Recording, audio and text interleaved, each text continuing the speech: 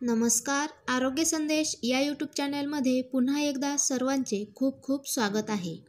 सध्या आपण पाहतो अगदी कमी वय असतानासुद्धा सांधेदुखी गुडघेदुखी अशक्तपणा भूक न लागणे झोप न येणे वारंवार आजारी पडणे या समस्या वाढतच आहेत.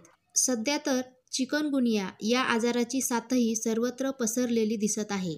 अशावेळी अनेक समस्यांपासून आपला बचाव करण्यासाठी आपली आणि आपल्या घरातील प्रत्येकाची काळजी घेणे गरजेचे आहे.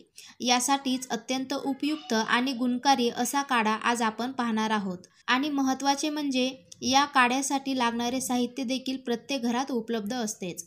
चला तर मग पाहूया कृती. सर्वप्रथम दोन व्यक्तीसाठी हे प्रमाण आपण आज पाहणार आहोत. व्यक्तीनुसार याचे प्रमाण तुम्ही कमी जास्त करू शकता.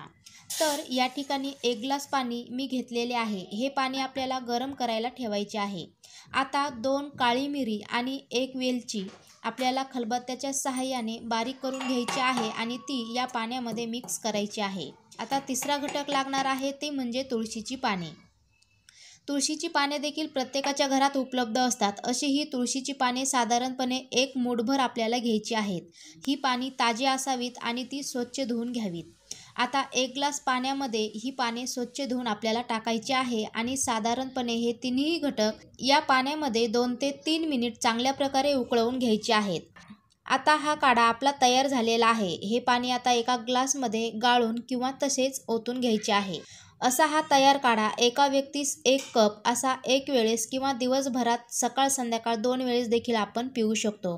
या घरगुती आयुर्वेदिक काढ्यामुळे रक्त शुद्ध होण्यास मदत होते ताप कमी होतो अशक्तपणा डोकेदुखी सांधेदुखी सांध्यावर आलेली सूज एवढेच नाही तर झोप न येणे या देखील समस्या हळूहळू कमी होण्यास मदत होते आणि सर्वात महत्त्वाचे म्हणजे फ्रेश देखील वाटते.